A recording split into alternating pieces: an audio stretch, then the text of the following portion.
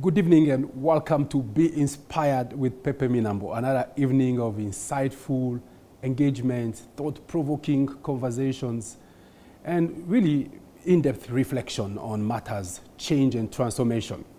About uh, two weeks ago, I started a series on championing organizational change and transformation.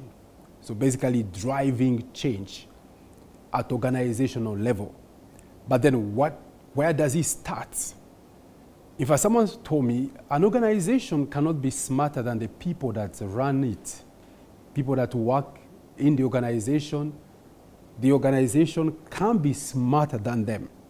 So, meaning sustainable, substantial change starts at individual employees level. It's only at that point that the organization can go through change and transformation. But today I want to focus on one particular element that is so critical in driving organizational change and transformation. And this aspect is about change champions. Now, you see, a champion of change doesn't have to be working in an organization. You can champion change at a family level, at community level, you can champion change at, let's say, a social level, you can champion change at business level, and even at organizational level. But who is a change champion? Let's look at people in history that brought about change. You know, either social change, it could be academic change, or it was economic change, or business change, or political change, any kind of change, even religious change. I would like us to look at such figures that we all admire and we wish to be like in our lives, in our homes, in our businesses, and in our organization. So, my conversation tonight, I want to focus on what does it take for one to be a change champion at whatever level, under whatever circumstances. What makes a change champion a change champion?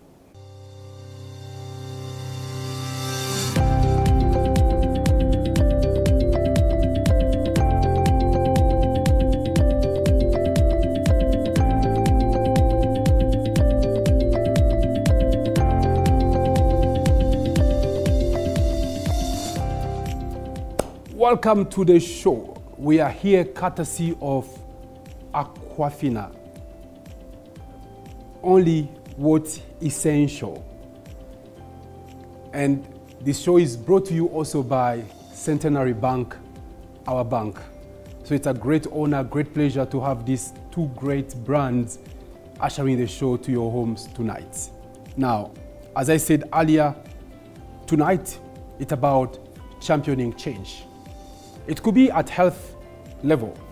I know some of us, we know our bodies are asking for something different, but we don't have that gut, that courage to stop the clock and introduce change of lifestyle, maybe change of diet, or just change of routines at a personal level, health-wise. Some of us in our parenting, in our homes, in our marriages, in our relationships, we know it is time for change. If I, someone told me, if they ask you what time, say it's change o'clock.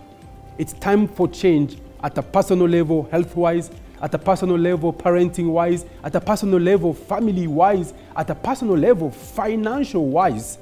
But then we do not have the guts to stop the clock and start talking about change. Now, the first thing that makes a change champion a change champion is what I call guts, boldness, audacity.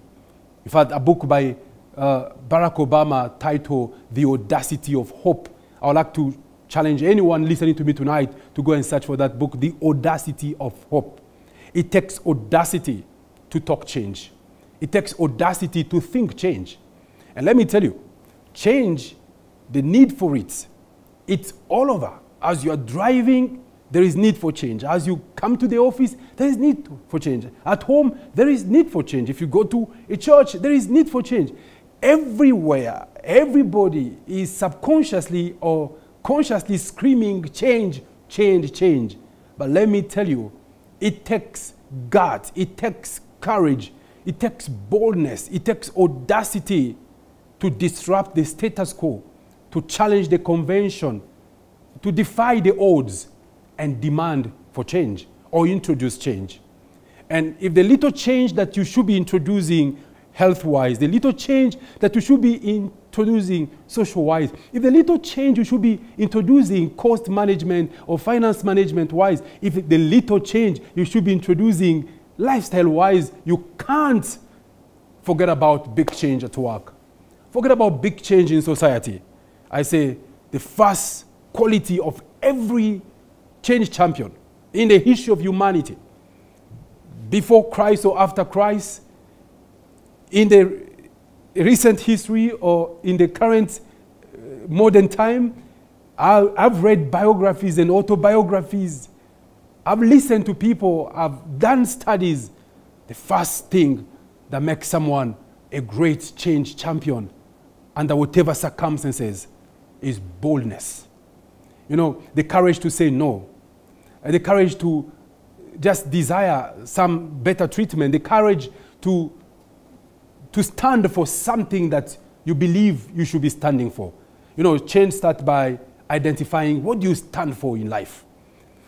Change starts by defining what we call the non-negotiable. What are the non-negotiables health-wise? What are the non-negotiable when it comes to your financial life? And what are non-negotiable when it comes to your parenting or marriage? What are non-negotiable when it comes to your career, professions, future, and investment. What are the non negotiable? But you can't define the non negotiable until you are bold, until you are courageous, until you stand and say, Up to here, I will go, from here to there, I will not cross these boundaries, and I will not allow anyone to cross these boundaries. I say, real sustainable societal organizational change starts at individual level. In fact, someone say everybody's thinking of changing the world. But no one is thinking of changing themselves. How will you change the world if you can't change yourself? You know that the food you are eating not good for your heart, not good for your health, and you can't change that diet. How will you change the world?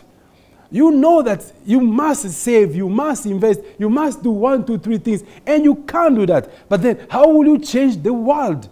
The little things that where change begins. In fact, I remember uh, a, a lady, a great lady who said, he said, she said, it's the little things that people do that makes a difference in the world. And then she said, my little thing is planting trees to conserve the environment and to give future to our children. It is the little things that citizens do that make a difference. It is the little things that members of an organization do that makes a difference. It's the little things that members of a community do that makes a difference. It's the little things that members of a family do that makes a difference. It's the little change that they do that makes all the difference. Then the lady say, my little thing, he's planting trees. And that's the late Wangari Maathai, the winner of the Nobel Peace Prize, the first African woman to win that prestigious prize. She said, my little thing is planting trees. Now I want to ask you the first question tonight. What's your little thing? at health level, what's your little thing?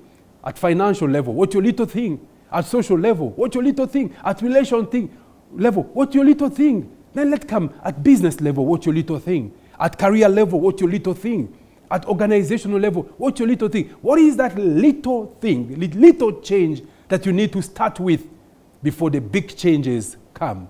So the first thing that define a change champion in a family community, at work, in the marketplace, is boldness, is audacity, the courage to stand for something. As it is said, if you can't stand for something, you'll fall for anything. So, my question to you tonight is what kind of change are you advocating at work? What kind of change would you like to advocate at work? But then I beg the question what do you stand for? What are your non negotiables? But then what is that little thing that you like to see change for it to usher in the bigger change in your life, in the community, in your family, and even at the organization? The little thing could be that little whisper, that little voice that will highlight an issue that need to be addressed, that need to be changed. But then it takes courage to speak. It takes courage to express yourself.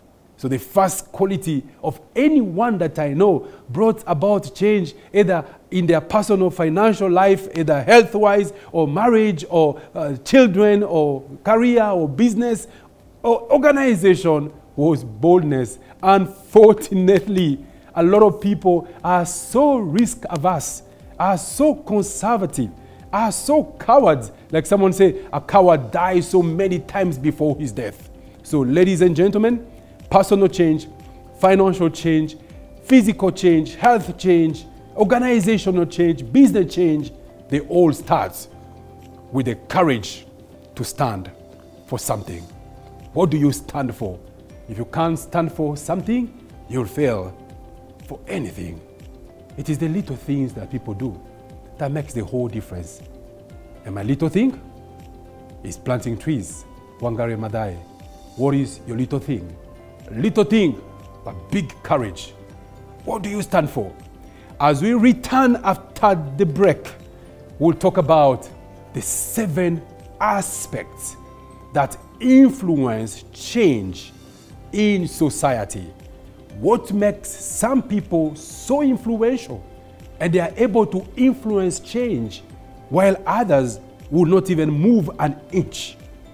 Do you feel some fire in your belly burning need for change at whatever level, under whatever circumstances. So keep it here, courtesy of Aquafina and Centenary Bank, our bank. We will be right back.